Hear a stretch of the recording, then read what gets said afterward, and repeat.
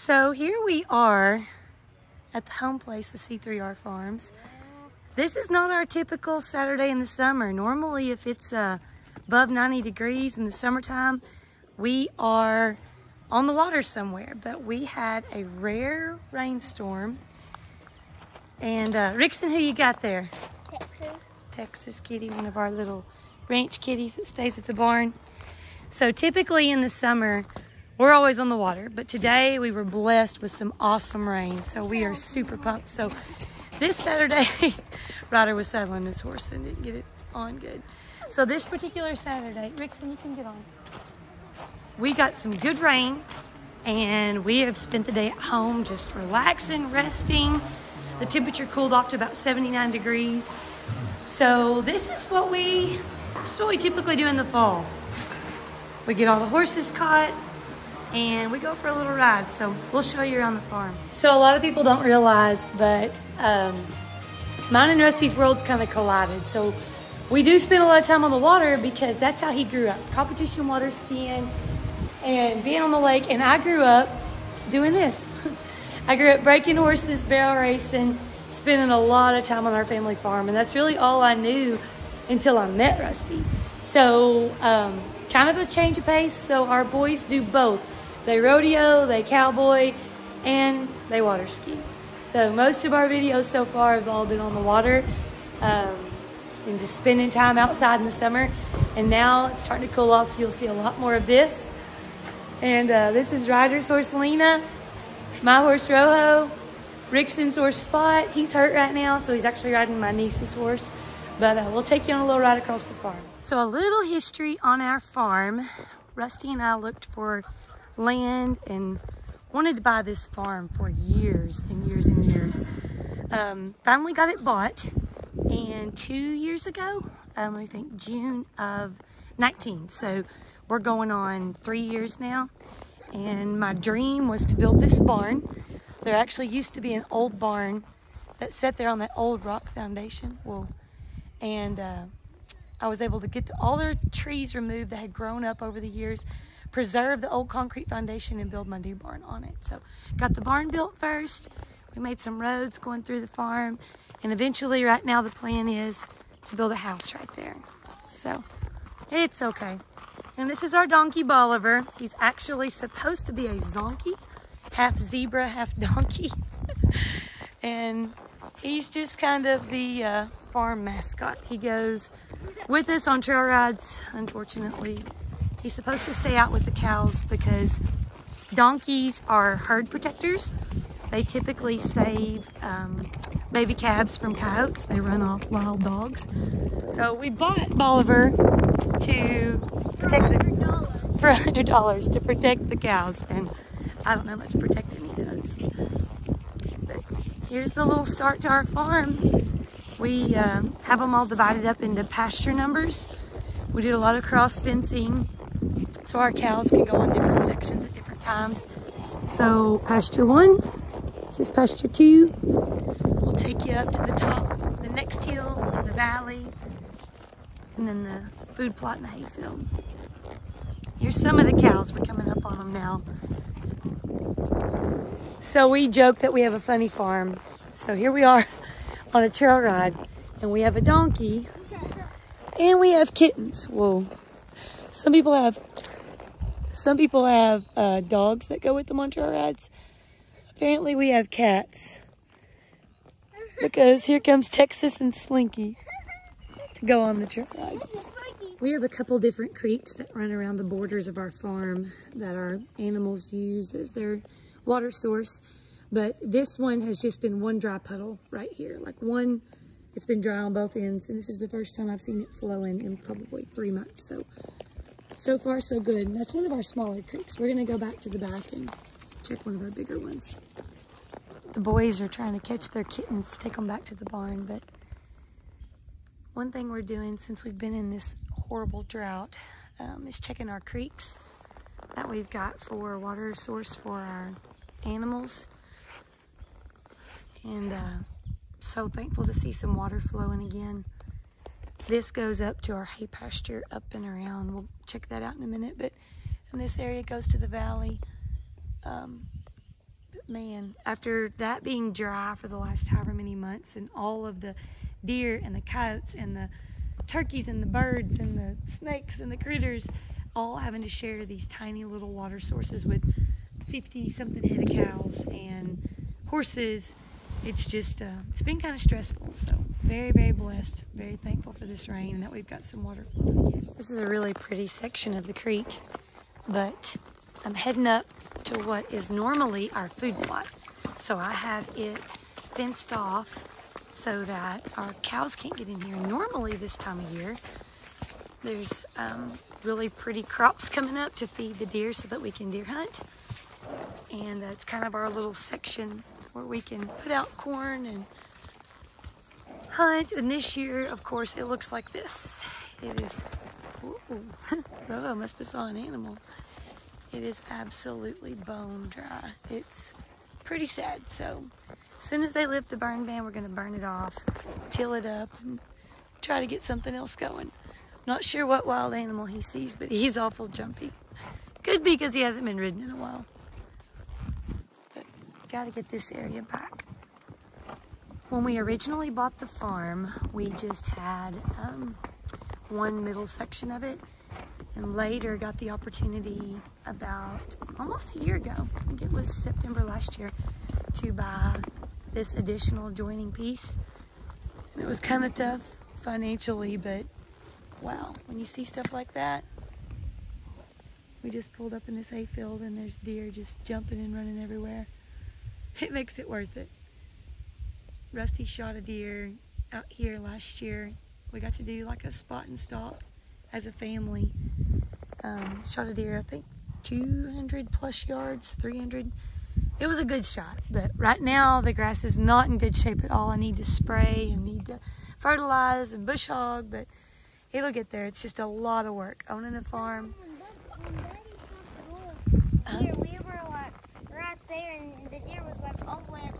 Yeah, the deer was all at the end. Where we jump on our floor. yep. Farms are a lot of work, but man, it sure is rewarding. Wouldn't trade this life for anything. Here is one of our little ponds, the main water source out here in the hayfield. And you can see how dry it is, man. Super, super low, but praise the Lord, it got a little more full today. There's always turtles and frogs. Did you just see that thing right there take its head under? What was it? Might have been a snapping turtle or a snake. May have been. Might have been a snapping You think your brother's gonna find us? He had to go take his cat back, but we left the gate open so he'll know where we are. All right, boys, tell us what part of the farm we're on now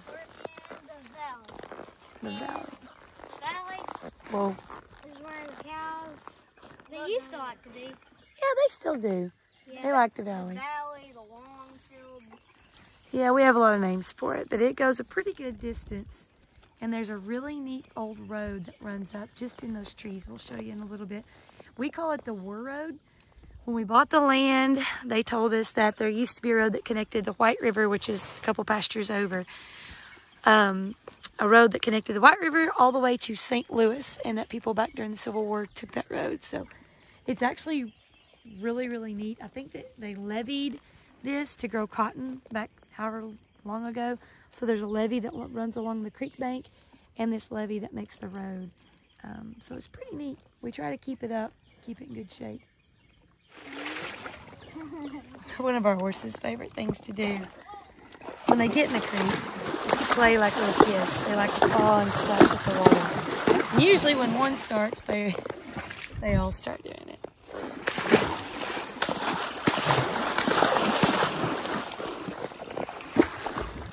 And of course our pet donkey that goes everywhere we go. Is Oakley gonna play in the water? Yep, there he goes.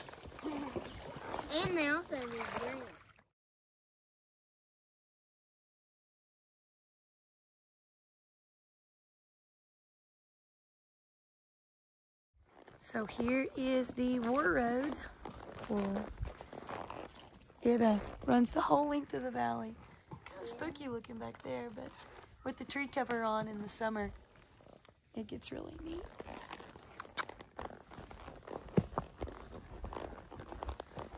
seems like wildlife really like it too. There's always deer tracks and paw prints and coon tracks and turkey feathers, my favorite. We kind of make it a game collecting turkey feathers when we're out trail riding. It's one of our favorite, favorite little things to pick up on the trail.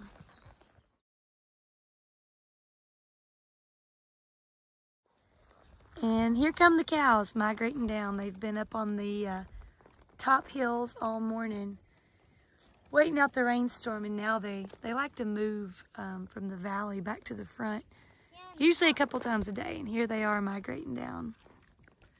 And the top hills are just above those trees. Just above those trees. That's where we're going next.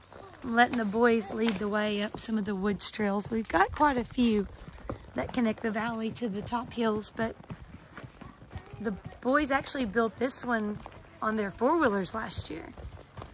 They were coming up in the woods in the winter on their dirt bikes and four-wheelers. Easy, it's a little bit muddy. And uh, cut some of this down, then Rusty got in here on the skid steer and cleared it a little more.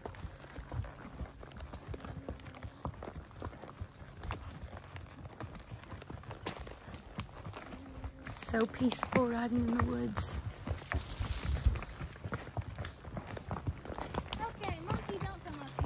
Uh-oh. Do you run it? Hey, bub, it's right here. The cows also make good trails down, so sometimes we have to go through some limbs, but not too bad.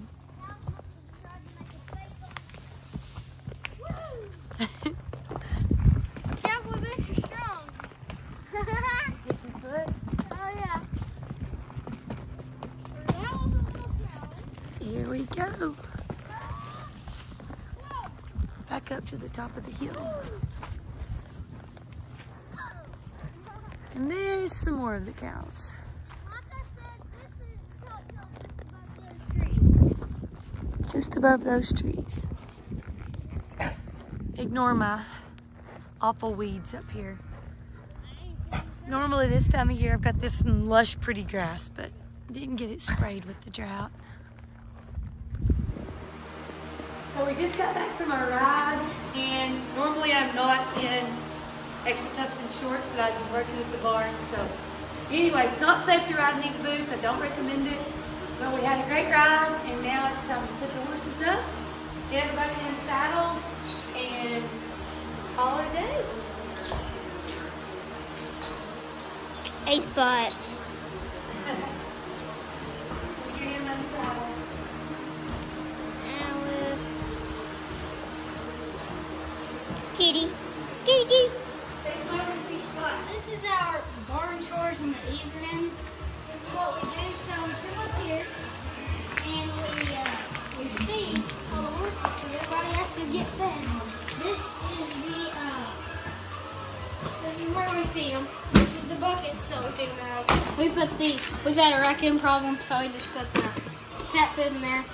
So wait, this is another one. We got two buckets. And, oh yeah, here we go. So I get all these buckets and I fill up halfway because we don't want to get the horses overweight. don't And we fill and we fill them up to like this line right here. yeah. We want we want the horses to be in shape. So yeah, feed them halfway. Yeah. Just one scoop for everybody. One, two,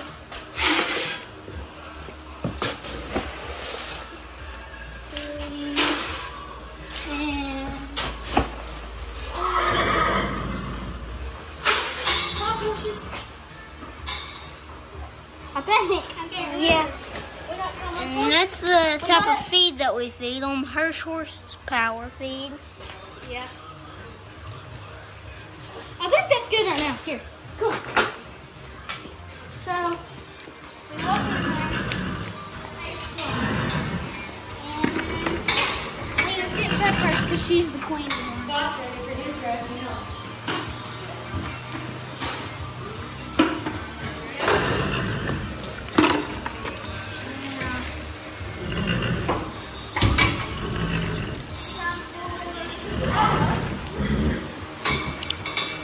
He said, he says, I'm hungry. Give me your food. Let's go get another bucket now. See, we got our little, Right got our little horseshoes to, for the little watch. So just, one thing that we're gonna have to do is before Spot goes up to eat, is he has to get a couple shoes pulled off. Um, my dad is a farrier or a horseshoer for a living, so growing up, I went with him quite a bit, traveling and to and from barns and learning how to shoe horses. And right now, Spot has a shoe that is sprung, which means the nails have come loose and it's about to fall off. So if he steps, he could actually step on a nail if we leave this shoe in a bad condition. A lot of people have to call a farrier to come out and do that. We've learned how to do it ourselves, so I'm about to show you how to pull the shoe. and cut. So my dad would not approve of this method. I'm crouched down behind the horse, his back foot, not safe. Spot is 24. He's very old, he's very calm, he's very broke, and he's been messed with a lot. So normally this would be a dangerous position, but I like to, what they call cut the clinches from right here.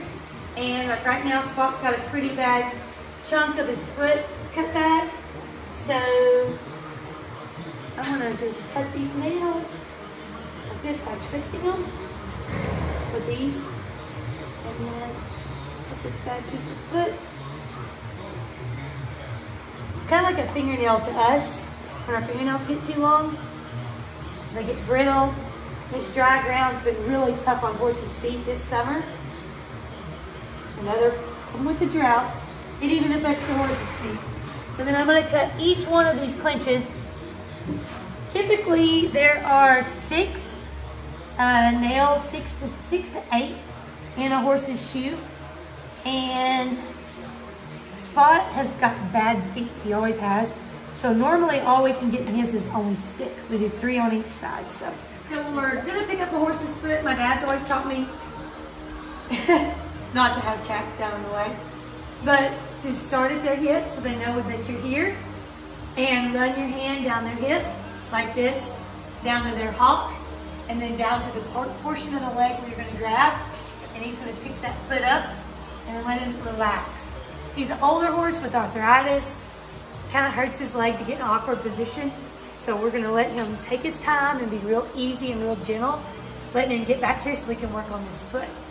Also, this sprung shoe, see how it's kicked over sideways? It's made his foot tender, but I cut the clinches really well. The shoe is really loose. And so we grab it, we bend down toward the toe. You back up just a little bit. And you bend down toward the toe each time until you get every single nail pulled out. Voila, we have the shoe off. So it's end of the night and we're closing the barn doors, calling it a night. We had a good ride. We had a good work day up here at the barn. I got a bunch of gravel moved, did some cleaning. All the horses are eating. They're all in their stalls, kind of tucked down for the night. We like to leave the fans on for them because they're kind of spoiled. So everybody's fed. It's time to go get us some supper now. Boys, y'all ready to close it up? Yes, ma'am. Got everything put up for the night.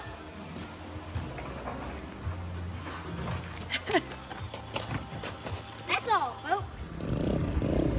And here we are heading home. Rickson likes his uh, RZR. Daughter likes his dirt bike.